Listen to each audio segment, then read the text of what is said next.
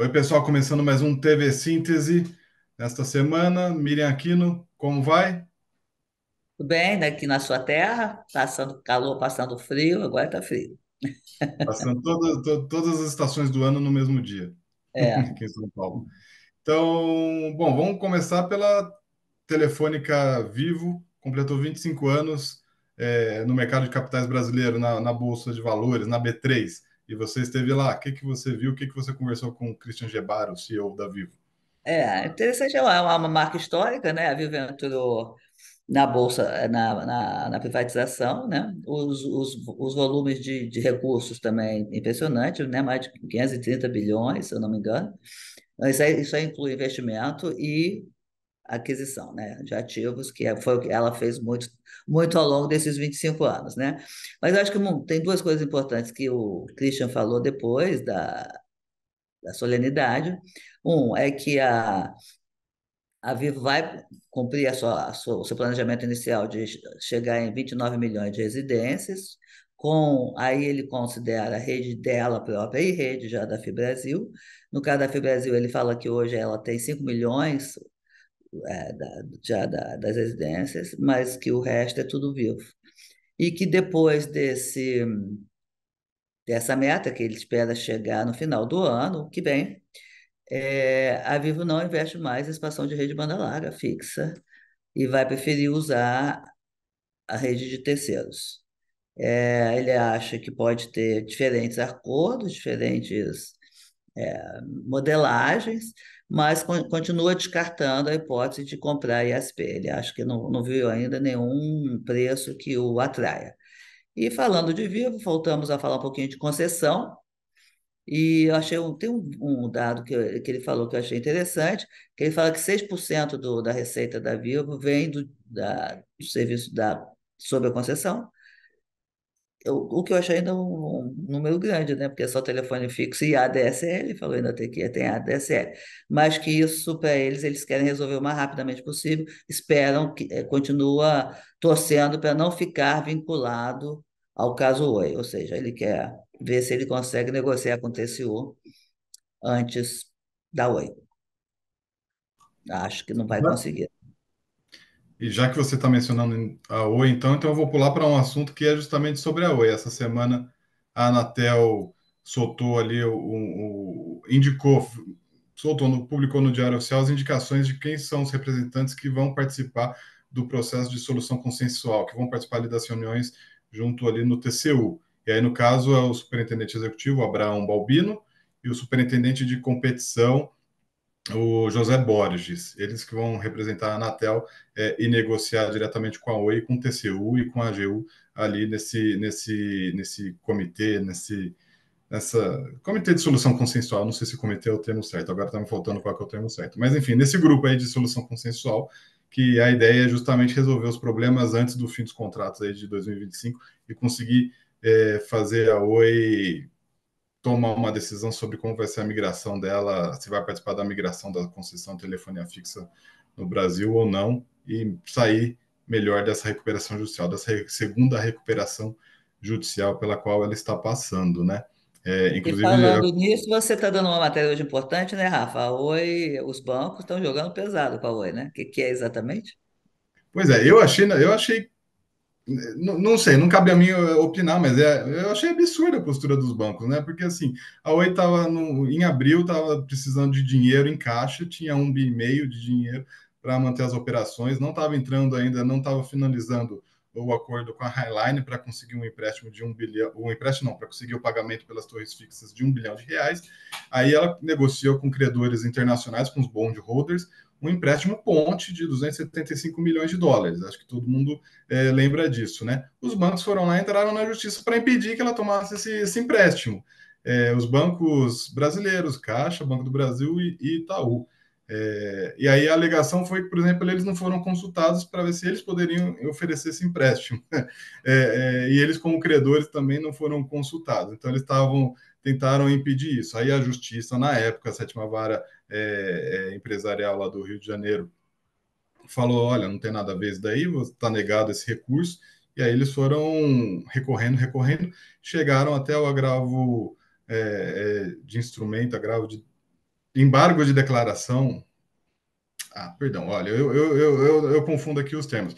Mas, enfim, o texto está aqui no site. Chegaram, na última semana, a desembargadora é, decidiu que realmente não tem nada a ver, a Oi deveria, poderia, tinha todo o direito de tomar um empréstimo da forma como ela tomou, e a Oi, até por questão de transparência, decidiu: olha, tem um contrato aqui de sigilo, mas a gente renegociou o sigilo com esses credores que ofereceram esse empréstimo, e a gente dá aqui a lista para vocês de quem, com quem que a gente tomou esse dinheiro. E aí na matéria está ali também a lista de quais são esses credores, são todos internacionais, são todos fundos é, é, lá, lá de fora. É, e aí tem uma coisa também que é assim, esse empréstimo ele foi tomado de 275 milhões, mas só 200 milhões de dólares efetivamente entraram no caixa da Oi. 75 milhões, eles, os credores tinham uma série de condicionantes, aí os credores não liberaram. Aí a Oi, logo depois, em setembro, pegou um novo empréstimo com o BTG Pactual, que é o dono da, da, do controle da Vital, né? Então, assim, já também já mudou. Mas teve essa decisão tomada, muita coisa aconteceu com a Oi é, nessa semana, acontece toda semana, coisa com a É, Oi. Rafa, a só uma, uma coisa assim, no mundo das finanças a gente não entende muito como é que é, apesar dos contratos e tudo e tal, né? Mas não custa lembrar, tem duas coisas, né? Os bancos eh, brasileiros sempre foram os que mais levaram no, no, no desconto do que, do que eles, o que eles emprestaram, né? Então acho que tem uma coisa aí, embora muita gente do mercado fale que isso para eles tanto faz, porque já, já, já já teriam vendido essa sua dívida e tal, assim, mas do ponto de vista formal, quem mais, os Uhum. bondholders nunca perderam nada, isso é, isso é fato também, né? Eles sempre foram os primeiros a levar tudo das suas é, recuperações. Aliás, eles já recebiam antes, né? Sempre nos empréstimos da Oi, pelo menos na primeira, antes de pagar, eles já recebiam lá os juros deles. Enfim, negociação, os bancos, obviamente, não podiam fazer isso para prejudicar mais ainda a empresa, mas tem lá suas razões que a nossa vã filosofia não vai poder entender aí nesse meio tempo, né? Mas, enfim, fica o registro. A Oi agora precisa o consenso, acho que o consenso no TCU ainda está muito longe, mas vamos lá. E eu acho que É, agora a não, falando, Hum. só complementando, esse consenso está longe. Ontem mesmo, o Conselho Diretor da Anatel deliberou é, prorrogar por tempo indefinido a suspensão da arbitragem que eles estavam travando com a Oi para que ela consiga com, negociar lá no TCU a solução consensual. Então, pode ser mesmo que esteja longe, porque na prática o que a gente está vendo é, é tempo, É. é, mais tempo dado para a empresa, né?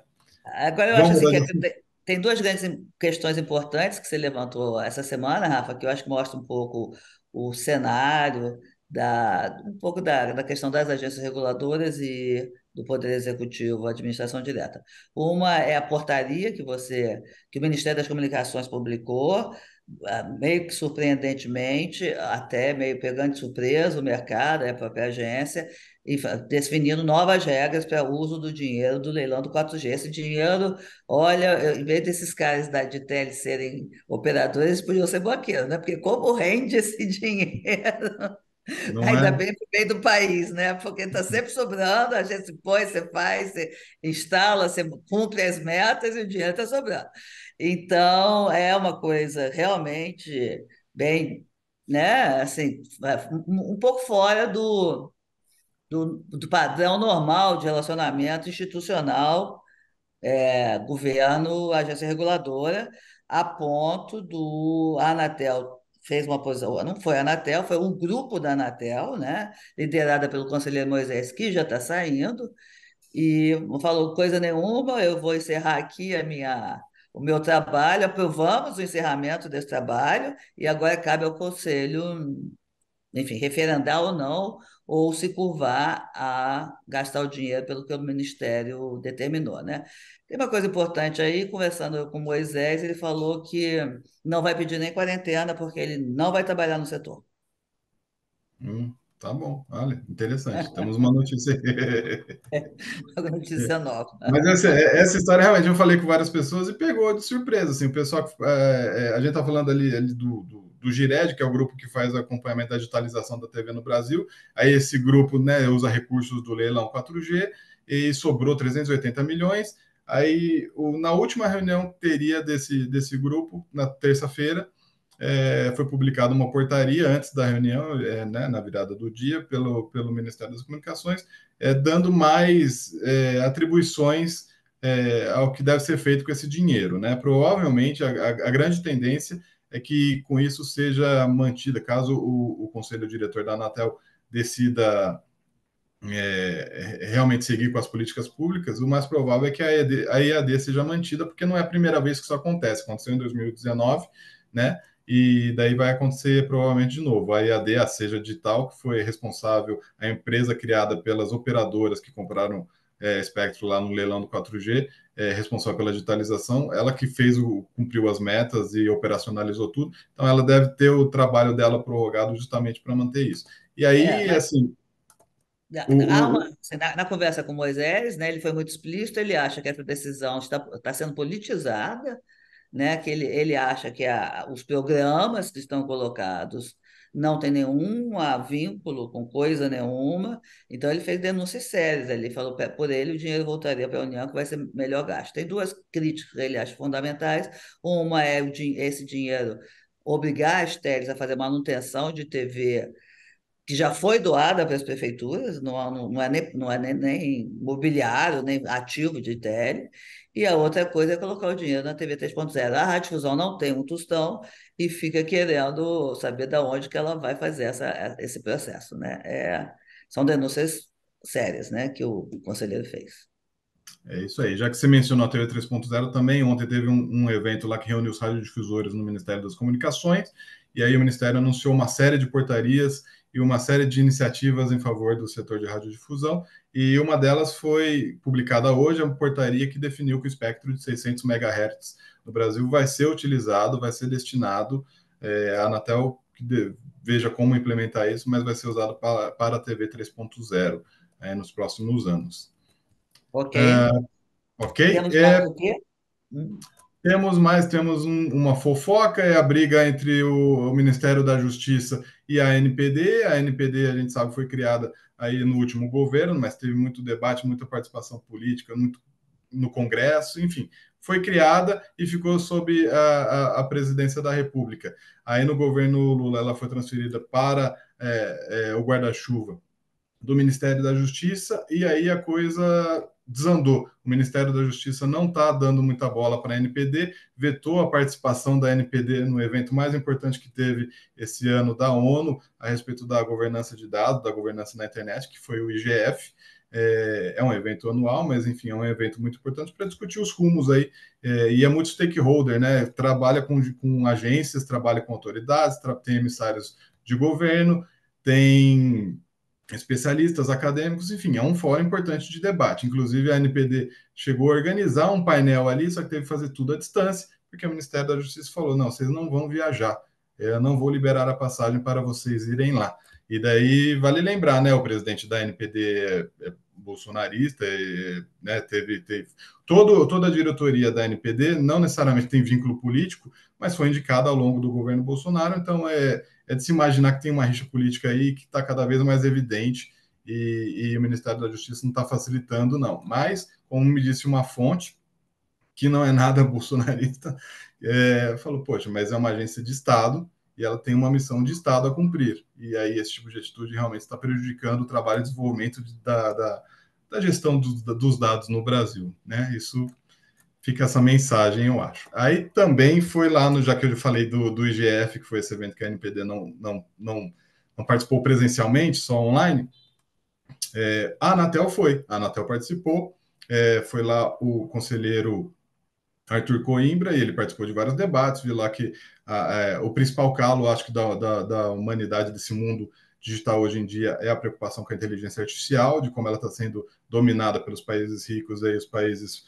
Eles chamam de norte global e sul global, né? Os países mais envolvidos são norte global e o sul global está tá, tá sendo puxado aí, não está vendo as oportunidades passar. Mas, fundamentalmente, é, ele, o, o Arthur Cohen, participou ali de painel sobre fair share, e ele falou que o painel foi muito interessante porque tinha representante da Coreia, que foi o país que, que primeiro instalou, em 2016 começou a, a, a, com uma política de fair share obrigando as OTTs a pagarem alguma coisa pelo tráfego de dados às operadoras. Aí ele contou, e aí eu coloquei até o link para a transcrição desse painel, porque as transcrições estão todas online, tá? É, ele contou que o, o, representante da Coreia falou que o efeito do fair share lá foi a saída das OTTs, do, elas colocaram os dados fora é, da Coreia. Aí isso aumentou os custos demais para as operadoras, que tiveram que pagar cabos submarinos, tiveram que pagar contratos de peering altíssimos. E aí hoje todas as operadoras estão buscando renegociar com as OTTs para que elas venham e armazenem os dados dentro do país. Mas teve um, um prejuízo ao consumidor e aos custos das próprias operadoras. No fim, é, saiu pela culatra, sabe? É, essa é a percepção. Aí ele falou também que uma possibilidade é, das várias que são aventadas e vistas como mais factíveis é o Digital Tax, que é o modelo da França, que é uma espécie de FUST digital. Não é um FUST, mas é como se fosse um FUST digital. Cria-se um fundo e as OTTs, as Big Techs, seriam é, responsáveis por pagar, por financiar esse fundo. E por que, que, nesse caso, elas não saíram da França? Eu não perguntei isso, mas eu posso perguntar. Fica para o próximo Fica vídeo. próximo vídeo. Mas aí, aí eu acho que tem uma coisa importante, viu, Rafa, nessa, nessa questão, claramente. Enquanto o presidente da Anatel, o Baigorre, está trabalhando, se manifestando, defendendo, e com todos os argumentos que ele tem, de que o fair share é importante, é necessário e que elas têm que contribuir, tá certo? O, o conselheiro Arthur tá, tem uma cautela muito maior, inclusive citou um caso negativo, né, que não deu certo. Podem uhum. ter sido discutidos outros casos lá. E ele é. foi com a posição de que a Anatel não tem posição sobre o tema. E aí, relembrando relembrando também um pouquinho o que o presidente da Vivo falou, ele foi cobrado, foi indagado lá na hora, vem cá, mas a Anatel está falando que vocês estão defendendo, mas não tem uma posição, que isso foi, ah, o Baicor colocou isso no Futurecom, né? E aí o, o Christian Gebara falou que ele entende que isso tem que ser um, um o debate está sendo travado globalmente e pode ser encabeçado pela GSMA, que está sendo presidida hoje pelo presidente da Telefônica lá. Então, pode ser que o, tenha outras dimensões aí também, esse debate, né? Mas pontuamos, é, acho, acho, acho que tem eu pessoalmente acho que tem que se arranjar uma alternativa, mas eu acho que tem que se estudar com como é que vai ser essa melhor. Esse, esse caso da Coreia, de qualquer forma, é muito interessante a gente conhecer e estudar um pouquinho, né? É isso, doutor Rafa. Vamos encerrar a nossa semana, porque semana que vem parece que também promete, né? Acho que a, a questão que está mobilizando o setor todo e a agenda da próxima semana é a reforma tributária, né? Ela continua na, na pauta e emocionando mentes e corações. É isso tá aí, bom? doutora Anília. Então é então, isso. De semana a todos. Bom te ver na semana. Até a próxima. Um abração. Tchau, tchau.